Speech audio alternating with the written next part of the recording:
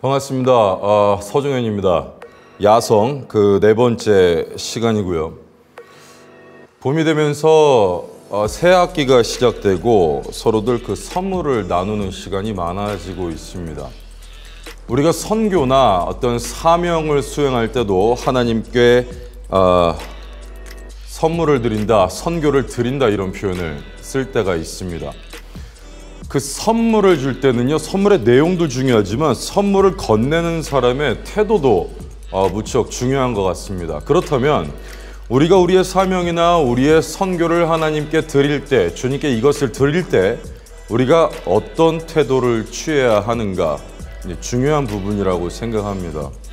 하나님께서는 우리가 우리의 선교를 주께 드릴 때 어떤 태도를 갖기를 원하시는가에 대해서 어, 오늘 살펴보도록 하겠습니다. 본문 말씀을 읽을 텐데요. 본문은 마태복음 5장 23절과 24절 말씀입니다.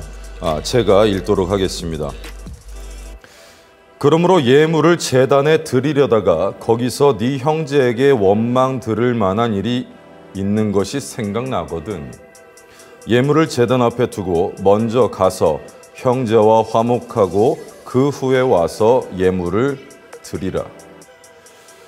자, 여기서 화목하고 돌아오라는 얘기는 화해를 하고 사과를 하고 화목을 하고 그 후에 돌아오라는 얘기인데 자 여기서요 이 화목해라 사과해라 화해가 있어야 한다 이게 우리가 카톡으로 뭐 이모티콘 보내거나 아, 기프티콘 보내는 이런 내용이 아니죠. 아, 지금 이 본문에서 말하는 재단은 예루살렘에 있어요 그리고 이 설교가 이루어지는 곳은 갈릴리에 있습니다. 이 두 지역의 차이는 거리상으로 160km 정도 되는데 당시 비포장 도로였던 때 이것을 다시 돌아가려면 걸어가면서 노숙을 하면서 장작 3일이 걸리는 거래요. 이 3일이 걸려서 돌아가고 거기서 사과를 하고 화해를 하고 다시 돌아옵니다. 또 3일이 걸려서. 장자간 일주일이 소요가 되는 기간이겠죠. 그런데 여기서 지금 뭐라고 하시냐면 재물을 놓고 가라고 합니다. 근데 이 재물이라는 게 지금 우리가 생각하는 그 헌금 봉투에 들어있는 돈의 개념이 아니죠. 피가 흥건한 염소라거나 송아지란 말이에요. 여러분 이 중동 상황에서 중동 상황에서 이 냉장고도 없는 상황인데 이 예물을 이 피덩이 예물을 방치하고 일주일을 지내다 오는 겁니다. 이 예물 썩어 있겠죠. 자, 여기서 우리는 하나님의 굉장한 메시지를 얻을 수가 있어야 돼요. 이 고기가 썩을지언정, 그러니까 재물이 썩을지언정, 우리가 주께 드리려는 예물이 썩을지언정, 우리 마음에 썩은 것은 못 받으시겠다는 거예요. 우리가 아무리 경건한 척을 하고 우리가 아무리 주님의 이름 앞에 경건한 모습을 보이려고 해도 우리 삶의 이면에 감추어진 곳에 있는 싸움이 난잡한 그 썩은 마음은 못 받으시겠다는 거죠.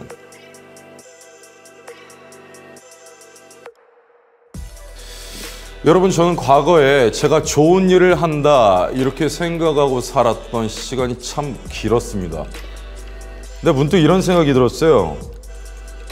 여러분 아무리 좋은 일 많이 하면 뭐합니까? 하나님이 기뻐하시는 거가 저에겐 중요했어요. 많은 헌금을 하고 많은 건축을 하고 중요하지만 그것보다 중요한 건 끊어지고 뭉개진 우리의 관계들이 예수 그리스도의 이름 앞에 회복되고 예수 그리스도의 이름 안에서 끊어진 형제 자매들의 관계가 다시 화목한 것. 주님은 그것을 더 큰 헌금이고 더 큰 건축으로 받아주신다는 거예요. 눈으로 보이는 우리들의 업적이나 우리, 어, 우리가 생각하는 그런 육안으로 보이는 것들이 아니라 우리의 마음이 깨어진 관계들이 회복되고 우리들의 마음 안에 깨어진 것들이 예수 그리스도의 마음 안에서 다시 재건되는 것 그것을 하나님께서 기뻐하신다는 거죠. 여러분 제가 직분이 선교사다 보니까 어, 과거에는 뭐 지금은 상황상 그럴 수 없지만 예전에는 단기 선교를 나가는 그런 모임에 제가 강의를 많이 했습니다. 제가 물어봐요. 사람들 다 결의에 많이 차 있어요. 뭐 선교를 해야 되는 이유에 대해서 내 이웃을 내 몸과 같이 사랑해야 되고 이런 얘기 굉장히 많이 합니다. 그럼 제가 물어봐요. 어, 내 이웃을 내 몸과 같이 사랑한다. 그래서 선교를 나간다. 그래서 당신은 당신 옆집에 누가 사는지 알고 있나요? 당신 옆집에 사는 사람의 이름을 알아요? 아니면 그분의 고충을 압니까? 그분이 그리스도를 아는지 알고 있어요? 대부분의 사람들이 몰라요. 우리는 정작 우리의 옆집에 누가 사는지, 어떤 이름인지, 어떤 고충을 갖고 있는지, 어떤 신앙을 갖고 있는지도 알지 못하지만 우리는 여전히 비행기 티켓을 끊어서 내 이웃을 내 몸과 같이 사랑하기 위해서 선교를 나가야 하는 상황에 놓여 있기도 했어요. 여러분, 우리가 사실 우리의 마음에 선교라고 생각하는 것들이 많은 경우에 결국에 우리들의 자아 성찰 아니면 우리들의 자기 만족을 위함일 때도 있었다는 겁니다.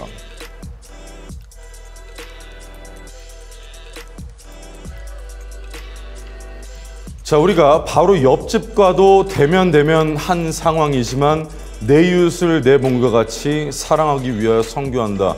여러분 이웃으로 가지 않아도요. 우리의 가족 같이 살고 있는 배우자에게도 가시돋친 독설들을 내뱉고 사는 우리가 어떻게 그 내 이웃을 내 이웃과 같이 내 이웃을 내 몸과 같이 사랑한다고 하면서 그 선교를 이룰 수 있을까? 하나님께서는 우리가 선교를 이루고 우리의 사명을 실천하기 이전에 먼저 우리들의 삶을 죽게 그렇게 헌신하기 이전에 먼저 우리가 화목하기를 원하고 계신다는 점입니다. 여러분 박진감 넘치고 기대감 넘치는 선교를 이루기 이전에 우리의 사명을 죽게 드리기 위해서 열심히 뛰기 이전에 하나님이 요구하시는 화목, 하나님이 요구하시는 이 화평을 위하여 노력함으로써 하나님의 선교에 준비된 성도가 되시기를 축원합니다.